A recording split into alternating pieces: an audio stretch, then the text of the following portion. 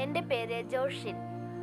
ഞാൻ C S I Mayiladumpara ചർച്ചിലുള്ള ഒരു സഭാംഗമാണ്. എല്ലാവർക്കും എന്റെ പ്രഭാത വന്ദനം വിശുദ്ധ യോഹന്നാൻ എഴുതിയ സുവിശേഷം രണ്ടാം അധ്യായം ഒന്ന് മുതൽ ഒൻപത് വരെയുള്ള വാക്യങ്ങൾ. മൂന്നാം നാൾ ഗലീലയിലെ കാനാവിൽ ഒരു കല്യാണം ഉണ്ടായി. യേശുവിന്റെ അമ്മ അവിടെ ഉണ്ടായിരുന്നു.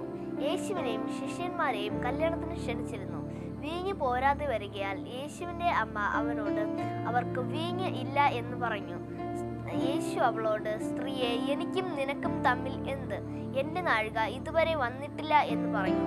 അവൻ നിങ്ങളോട് എന്തെങ്കിലും കൽപ്പിച്ചാൽ അത് ചെയ്വിൻ എന്ന് പറഞ്ഞു.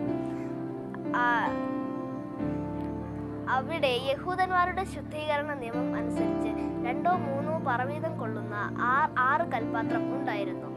യേശു അവരോട് ഈ കൽപാത്രങ്ങളിൽ വെള്ളം നിറപ്പിൻ എന്ന് പറഞ്ഞു. അവർ വക്കോളവും നിറച്ചു.